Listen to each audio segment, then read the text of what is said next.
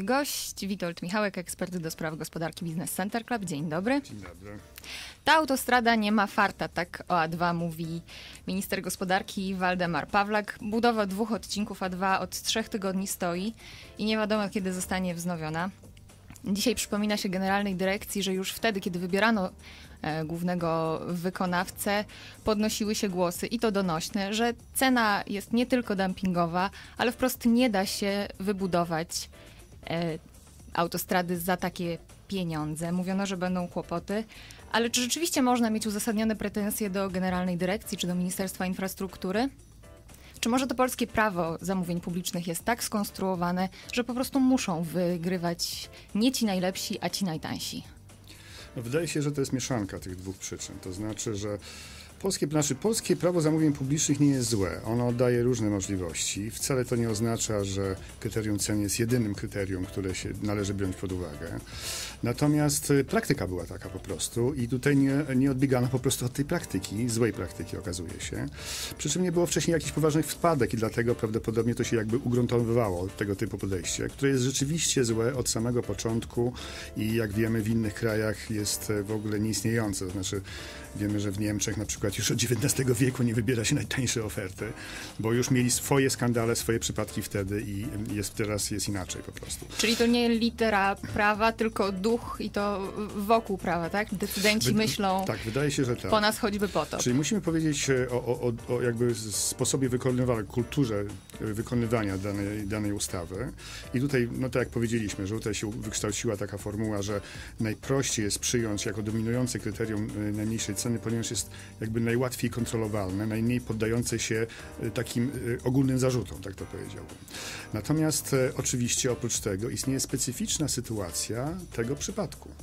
Otóż, jak wiemy, Chiny bardzo się starają wejść na rynki unijne, rynek unijny wspólny, różnymi sposobami. I prawdopodobnie ta oferta była takim rzeczywiście dumpingowym przebiciem, po to, żeby naprawdę wejść i żeby rzeczywiście zaistnieć. Ale to by oznaczało, że Chińczykom bardzo zależało na tym, żeby zaistnieć i mieć dobry rezultat, prawda? W związku z czym ich porażka niekoniecznie musi być przypisana tylko Chińczykom.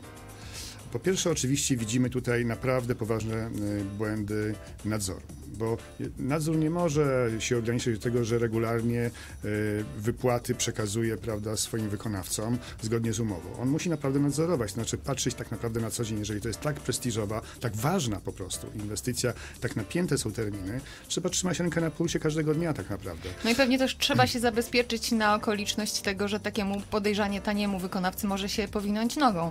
Dzisiaj dowiadujemy się, że owszem, odszkodowanie, które konsorcjum Kowek powinno wypłacić e, z tytułu niewywiązania się ze swoich obowiązań może sięgać ponad 740 milionów e, euro e, ale gwarancje bankowe i na to pozwalało polskie prawo zamówień publicznych opiewają tylko na 130 milionów.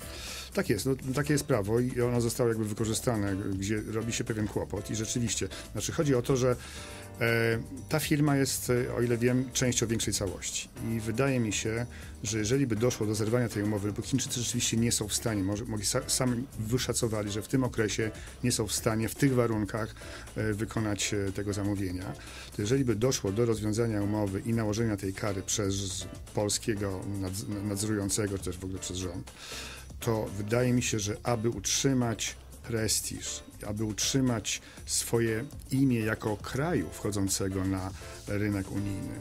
Y, czy to ta spółka matka, czy to w ogóle rząd chiński będą wypłacalne w stosunku do rządu polskiego i tych oczekiwań, e, po to właśnie, żeby zachować imię i żeby nie skompromitować się na podobnych e, inwestycjach w przyszłości w całej Unii Europejskiej. Także tutaj jestem względnie spokojny.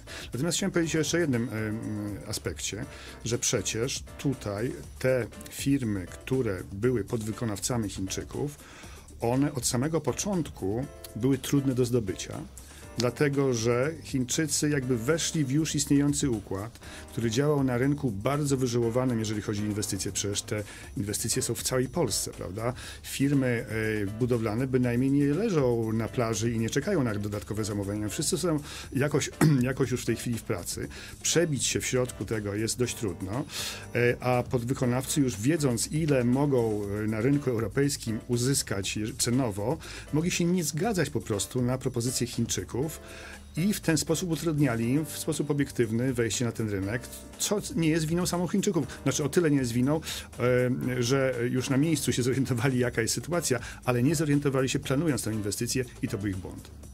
Bardzo dziękuję. Gościem Radia PIN był Witold Michałek, ekspert do spraw gospodarki Business Center Club. Dziękuję bardzo.